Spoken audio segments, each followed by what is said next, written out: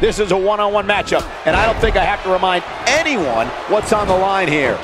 And this is one of those matches where it's hard to believe we get paid for this. Well, actually, it's hard to believe Saxton gets paid for anything. And I can tell you that the Chicago crowd has been itching to see this one all day. Off the top rope, delivering the powerful axe handle. He's looking at it.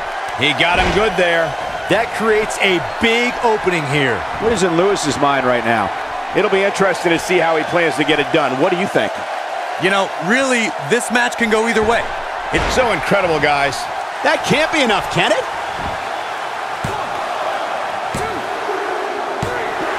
The cover, and this one's history. What a win. Here is your winner, Antoine McCarthy. You have to wonder what brought him out here tonight. Let's see where this goes.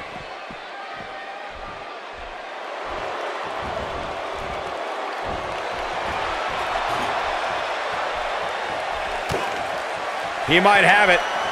The brain chop could be over. Nobody does it better, Michael. Here it comes. He's got him. He's looking at it. He's not afraid to fly. But is it enough to end it?